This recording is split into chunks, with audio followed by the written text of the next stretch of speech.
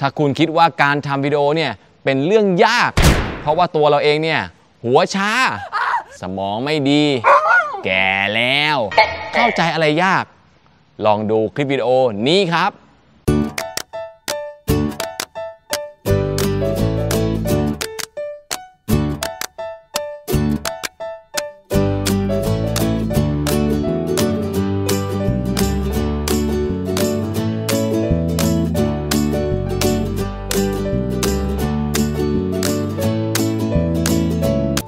ที่ทำวิดีโอเมื่อกี้นี้นะครับผมก็คือคนนี้นี่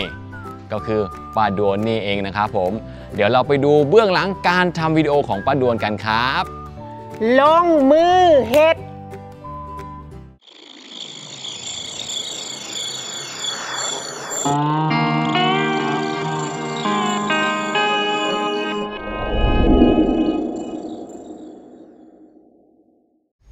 อันนี้มุมเสยนะคะเด้อ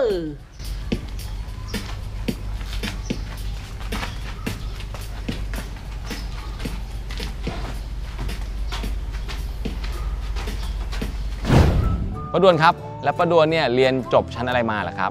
ป้าดวนเฮียนจบป .6 มากค่ะอ๋อแล้วป้าดวนเนี่ยตอนนี้เนี่ยทำงานเป็นอะไรอยู่ครับผมป้าดวนทำงานเป็นแม่บ้านอยู่โรงเรียนสารสาสน์ทำความสะอาดบริเวณตึกล่างห้องน้ำปัดกวาดเช็ดถูทุกอย่างค่ะ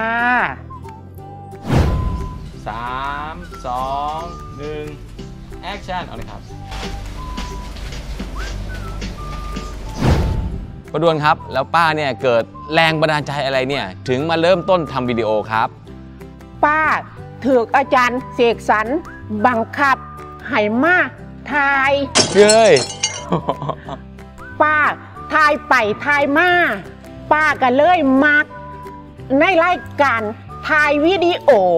มันมวนค่ะ แต่ปุ๊บเอามือไว้ตรงหน้าอกเอาแล้วบิสิดติถูกต้องบิดเอว โอ้แล้วก็สายดักอ่าถูกต้อง โอ้แล้ววิธีการเรียนรู้การทำวิดีโอของป้าดวนเนี่ยทำยังไงล่ะครับ ป้านั่งเบิงคลิปในซ่องเสกสรรปั้นยูทูบเบิงไปน้ำก็คอยเฮี้ยนไปน้ำเฮี้ยนไปเฮี้ยนมา แล้วมันก็เกงไปเองค่ะอันนี้คือการ ดอลลีกล้องเด้อค่ะเด้อ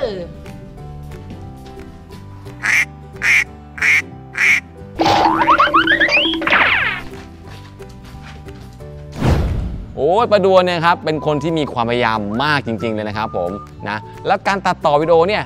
มันยากหรือเปล่าครับ การตัดต่อวิดีโอ มันง่ายอีหลีเด้อเพราะว่าใส่แอปในสมาร์ทโฟน ติดตั้งได้ง่าย ราคาถูก ใส่งานได้ดีเด้อ โอ้ย ถ่ายวิดีโอเมื่อยๆข่อยกะสิว่าอาบน้ำมาตัดต่อวิดีโอก่อนเด้อ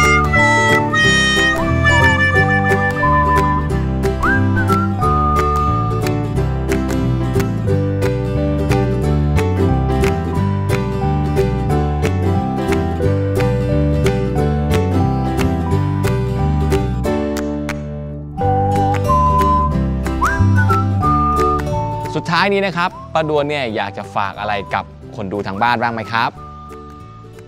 ผู้ใดกับบ่ได้เก่งมาแต่มือเกิด